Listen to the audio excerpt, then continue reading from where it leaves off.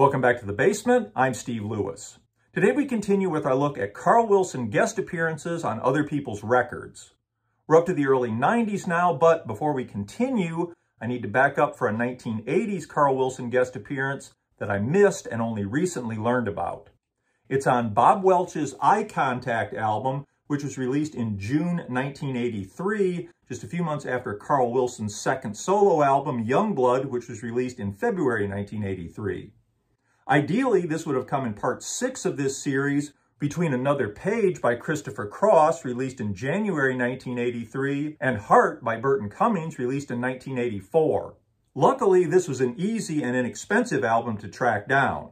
Bob Welch, of course, was a member of Fleetwood Mac from 1971 to 1974, beginning with the album Future Games and ending with Heroes Are Hard to Find, leaving just ahead of their Imperial phase with Lindsey Buckingham and Stevie Nicks. He was best known for his big success in the late 70s with the French Kiss album, which produced three top 40 singles, including the number 8 hit Sentimental Lady and the number 14 Ebony Eyes in late 1977 and early 1978. The French Kiss album went to number 12. Sentimental Lady was a re-recording of a song he had originally done on Fleetwood Mac's Bare Trees album in 1972. He'd reached the top 40 on the singles chart one more time in 1979 with Precious Love from his second album, Three Hearts. By the time of his sixth album, Eye Contact, in 1983, the hits were behind him. Like so many of his contemporaries at this time, Eye Contact has Bob Welch struggling to keep up with the changing times. The image of the TV on the cover has a vaguely new wave look to it, and there are some decidedly new wave synthesizer sounds on the album. Unlike some of his peers, Welch doesn't overdo it with the modern sounds and delivers a solid, if unspectacular, album.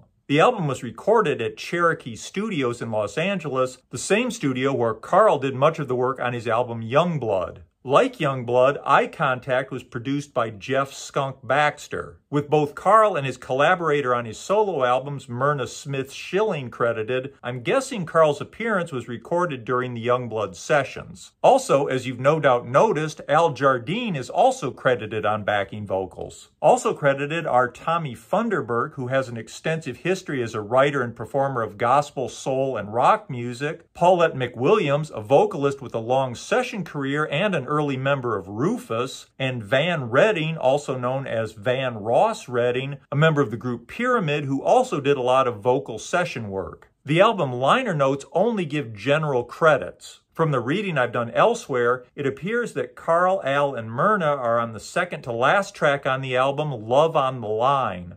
The group vocals on the chorus are backing vocals in the most direct sense possible. They just sing along with Bob Welch's lead. I have no doubt that Carl, Al, and Myrna are in there, but I haven't been able to pick out Carl, Al, or Myrna in the group.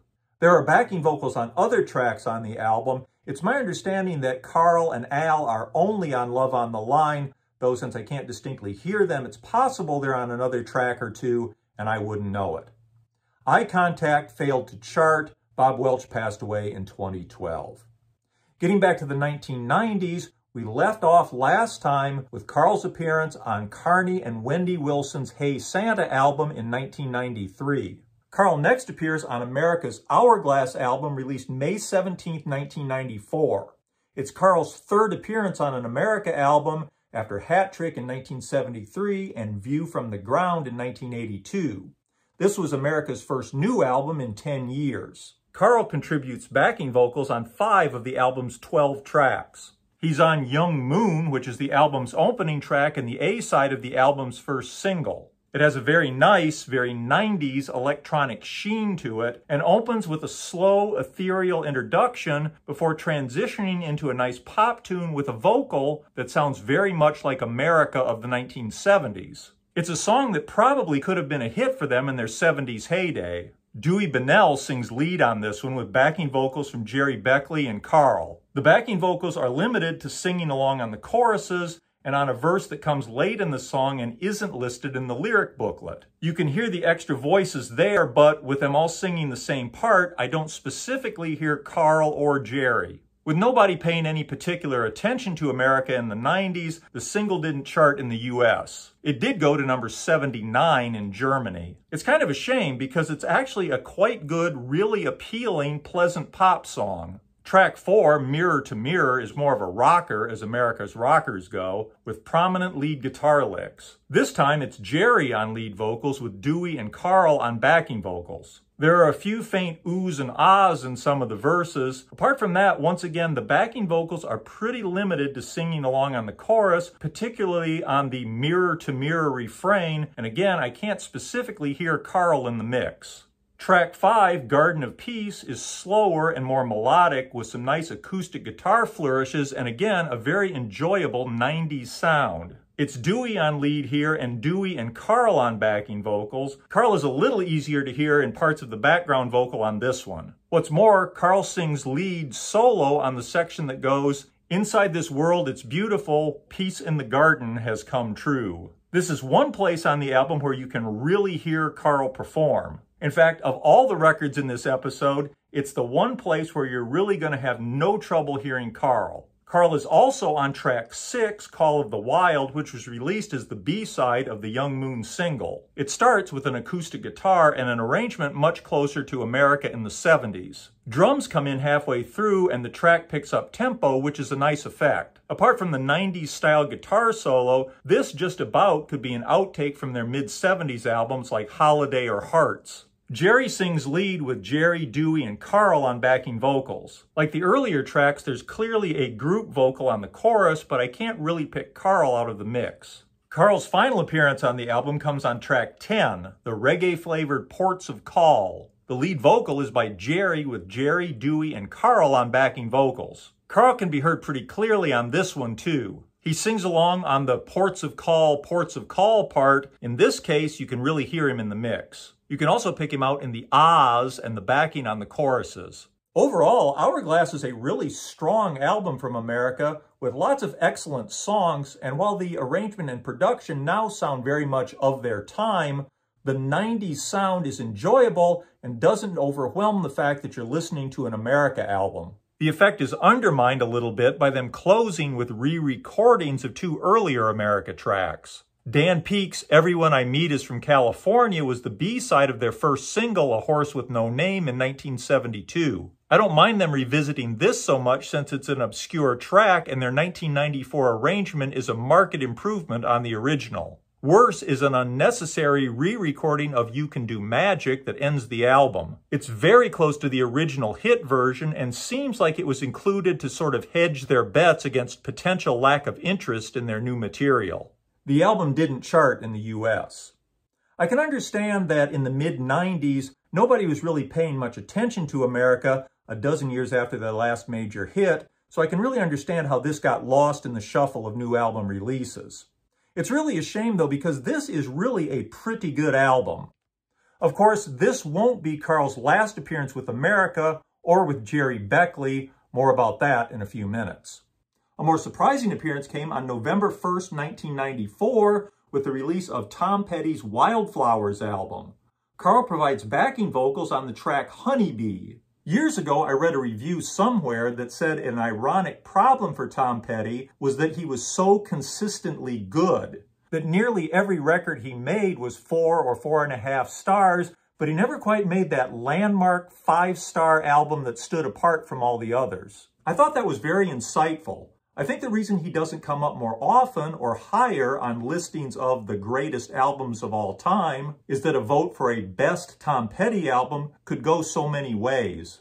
By anybody's ranking, though, I think Wildflowers would be near the top. It's the second album credited to just Tom Petty rather than Tom Petty and the Heartbreakers, the first being 1989's Full Moon Fever, another reasonable contender for his best. On Wildflowers, Petty swapped out fellow traveling Wilbury Jeff Lynne, who had produced his recent albums, for producer Rick Rubin and a slightly more stripped down back to basics sound. He doesn't stray too far into unfamiliar territory. He sounds a little more like Neil Young on some of the tracks. Like Neil Young, he covers a lot of ground. Heavy rockers, acoustic ballads, 60s sounding rock, love songs, and laments. It all still fits pretty comfortably into the Tom Petty wheelhouse, though, and always sounds authentically like Tom Petty.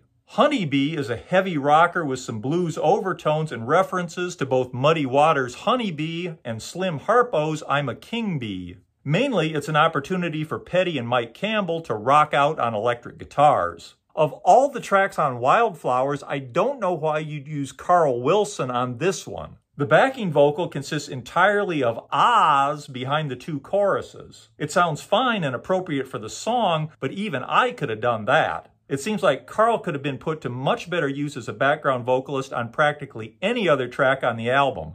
This is one of the best albums Carl ever appeared on outside the Beach Boys. Unfortunately, his appearance is so slight as to just rank as a footnote or a bit of trivia. Carl next appeared with Robert Lamm of Chicago as a backing vocalist on the track Kiss of Life from Gerry Beckley's album Van Go Gan, released September 25, 1995. It's kind of hard to believe that 25 years or so into his career as part of America, this was Gerry Beckley's first solo album. I suppose with only one or two other members in America over the years, he didn't feel too restricted by the group format. The album seems to have been released in the US and Japan only in 1995. The copy I got happens to be from Japan. I got it by mail from Japan secondhand, but it was a new sealed copy in plastic. For some reason, it smells unbelievably of cigarettes. That's just my particular copy. I'd love to know what kind of conditions this thing was stored in to infuse it so much with that smell that would last for years right through the plastic. Anyway, as for the contents, it's what you'd expect from Gerry Beckley. It's well-crafted, nicely produced, pleasant pop rock. On a few of the tracks, he sounds a little more like Tom Petty than usual, but it's not hard to tell you're listening to Gerry Beckley. Kiss of Life is a slow, ethereal, melodic tune built around a big, airy synthesizer and features a backward guitar played by Hank Linderman. There are slow drums with a world music feel that sound good and also make it very much of its time. It's a track that would have been at home on the Like a Brother album, material for which Beckley, Lamm, and Wilson had apparently already started to work on when this was recorded. There's enough space in the mix to hear the various vocals pretty well. Most of the backing vocals seem to be Beckley. Robert Lamm and Carl Wilson are both in there, but generally mixed in quietly. I can hear Carl best on the second chorus in the first line, Come on and save me, save me, and especially on the line, Now is the moment treasured. Even so, I really have to listen for him. It's too bad. Beckley is a fine vocalist,